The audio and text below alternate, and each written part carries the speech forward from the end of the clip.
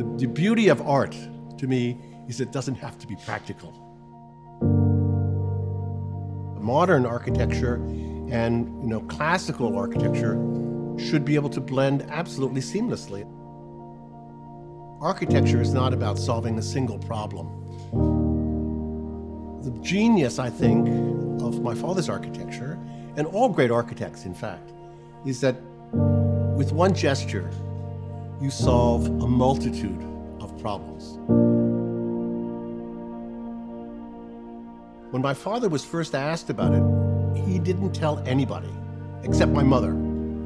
And he made, over the course of a, an entire year, a number of round trips to Paris secretly just to walk around the Louvre, to really understand not only the museum, but also its entire surroundings. What we were trying to show was that our project was really inspired by all of Paris.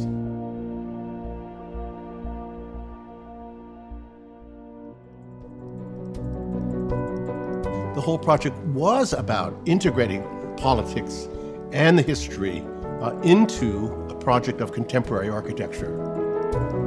My father thought of it as something that it had to be a pyramid. It couldn't be, for example, a cube or a dome. There are no surfaces that are parallel to the existing buildings. It divorces itself from the fundamental geometry of the other buildings, which makes it unique. And at the same time, it's not threatening to the existing pavilions. But then when it also, when it came to actually building and detailing the pyramid, he said the glass has to be a glass that doesn't have any tint. And he came up with the idea, and I remember him very clearly stating, "He says, I do not, I, I.M. Pei, do not want this glass, when viewed through it, to interfere with your understanding of the color of the pavilions."